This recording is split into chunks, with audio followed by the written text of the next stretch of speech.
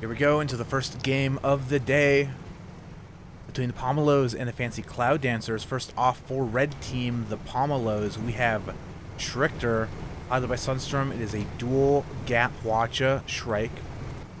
Their ally is the slow-moving Squid. Left side, Hades, Mark II Heavy Flak Lumberjack. And on the right, Heavy Carronade Hwacha with a rear flare gun.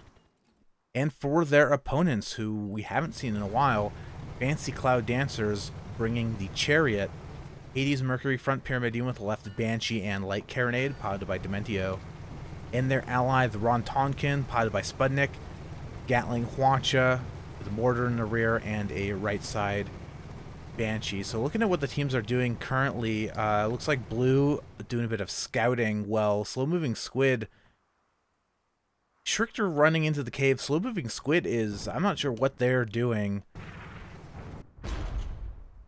They've got a very long sniper angle here uh, at the southern cave entrance.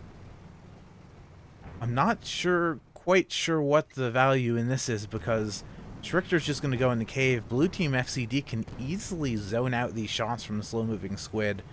Uh, they're just so far away. This positioning here, maybe uh, Red Team just not expecting to engage their, their opponents so quickly. As you do see Schrichter re uniting with their ally. Maybe trying to bait their opponents into this more open, clouded area.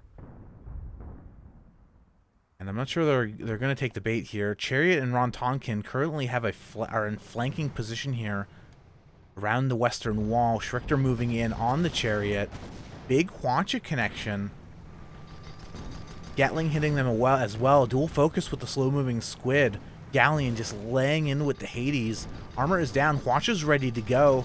But it, armor's rebuilt quickly. Goes down again. 40% permanent hole is down. Well, in the meantime, the Ron Tonkin uh, trying to move in, going through the hole, finding an angle on slow-moving squid, but Chariot taking too much damage. They go down. Ron Tonkin left on their own. I don't think they're going to be able to get a fast enough kill. This is the nerfed uh, Stormbreaker, only three guns on the left side, and Schrichter moving in to shut them down with a great Hwacha connection. I don't... I think this is gonna, probably going to be a second point if the Ron Tonkin doesn't find a way to disengage. Already big damage. 70% permahull is gone. Two engines up. I don't think Trike's going to be able to make it away. Heavy flak shot. Able to finish them off. So, uh, talking a little bit about the two teams here. Pomelos, we've been seeing very active this year in 2018. Probably the strongest team at the moment.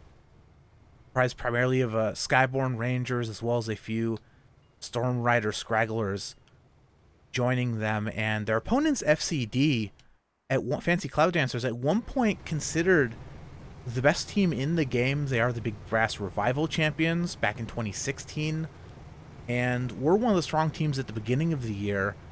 However, seem to have fallen off since uh, April, I want to say. SCS 198 was the last time we saw FCD competing together, taking a little bit of a break.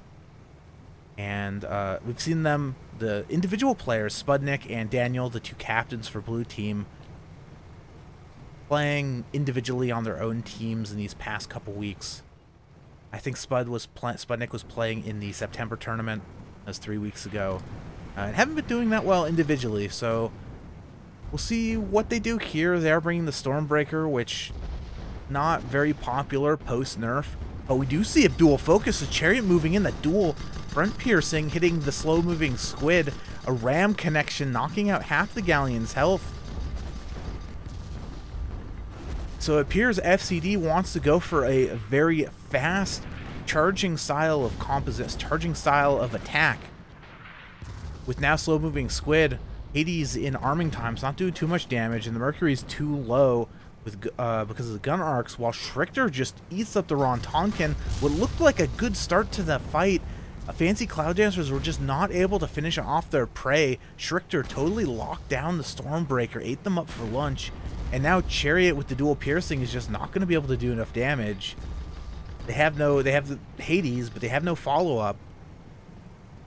And being a Pyramidion, probably not going to be able to disengage.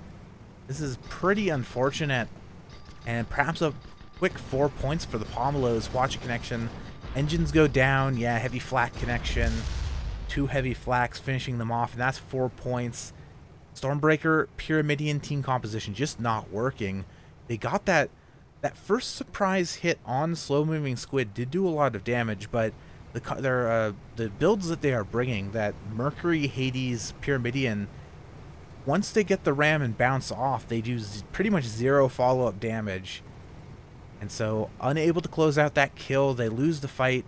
They leave this heavily damaged Galleon, but it's going to be a tough comeback. Even if they manage to win, they're going to have to win three consecutive fights to take this game to make up for this point deficit. As we see Chariot and Ron Tonkin on the opposite side of the map. Grouping up, they got to decide what they're what they're going to do here. Do have an update if uh if you thought this match was going quickly, our off-stream match has finished.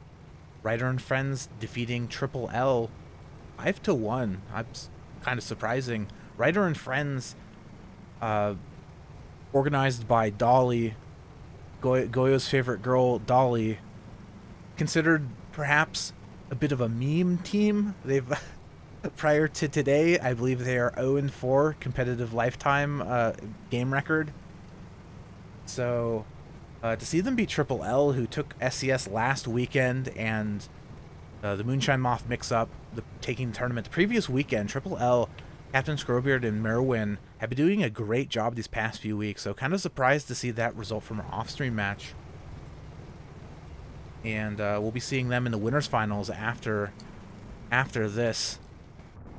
We'll see if FCD can claw their way back into this game. Currently, Ron Tonkin is spotted. We do have spots going down for both teams, so team positions are known. And it looks like Stormbreaker going to be disengaging. Chariot moving to the north, trying to find an angle. We might be seeing a flank here. I think that is exactly what we are seeing. With Ron Tonkin moving in from the north. Where's Ron Tonkin? Got some good cover here. Chariot's going to be coming from the other side of the wall. And I believe, yeah, slow moving squid taking the far far back position. They are low health, so Fancy Cloud Dancers could capitalize on this. But Schrichter already moving in, contesting the Ron Tonkin. Engine is down on the Stormbreaker. Chariot losing their balloon to the Lumberjacks, so they're out of the fight as well. Schrichter rising up. Big Hwacha connection already. Ron Tonkin almost dead. Chariot switching focus to the Schrichter having to help their ally. Well, but Chariot's still taking damage from the Galleon. I think this might be it for the Stormbreaker as Schrichter bumps them up. Hwacha connection, able to finish them off, and that's a fast 5 to 0 for the Pomelos. FCD in their return, first match together in five months. Not doing so hot, but we will see them in the losers bracket playing against Triple L. Well, I'm not sure we won't see them uh, because we're not recording that match, but